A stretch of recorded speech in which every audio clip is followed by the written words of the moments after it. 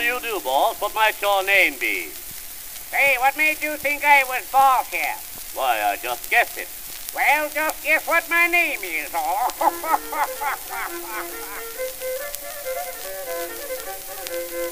Well, uh, how long have you lived here? Say, see that hill over there?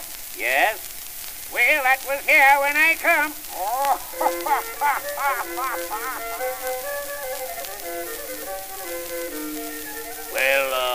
far is it to the next crossroads? you just follow your nose and you'll come to it.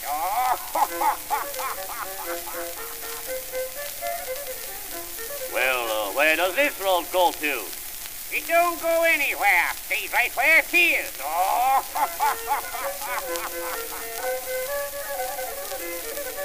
Hey, uh, down the road I saw a horse with a broken leg.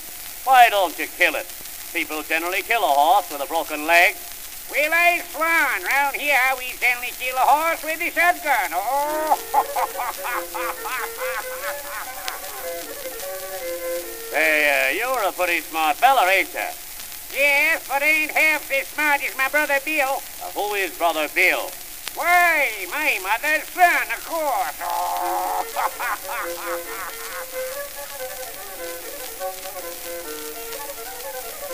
Say, now, I'm a lawyer and a pretty smart one, do I look it? well, yeah. Now, I had to go to law not long ago about this house of mine. Well, did you have a smart lawyer? You just bet I did. He owns the house now.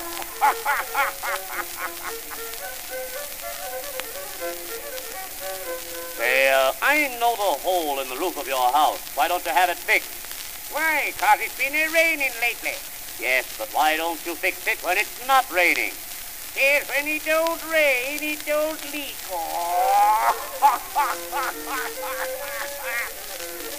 Hey, for pity's sake, why don't you play the rest of that tune? well, I just reckon ain't no man living smart enough to do that. Oh, yes, there is. Now, I think I can if you'll let me. Ah, thank you.